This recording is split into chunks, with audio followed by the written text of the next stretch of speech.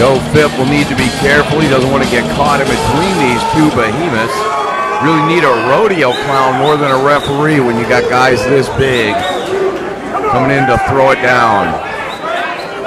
I would expect to see a lot of just standing in the pocket and banging.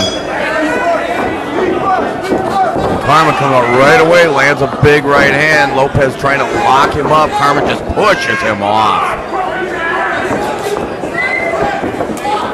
And we're going to see a lot of this, a lot of one-two with the with the two just being a big, huge, sloppy right hand.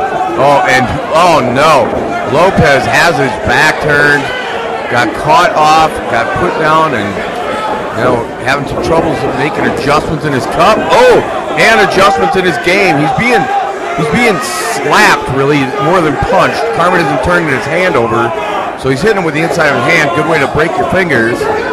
Not much power on those punches, they're just but they're hitting. And now Lopez is on the ground, stuck down on the ground, underneath a 280 pound man. Oh, big clubbing hammer fist. Big, big clubbing fist. Oh, and Lopez made no effort to really defend himself, just sort of rolled around, taps out, and that is going to be the end of the fight right there.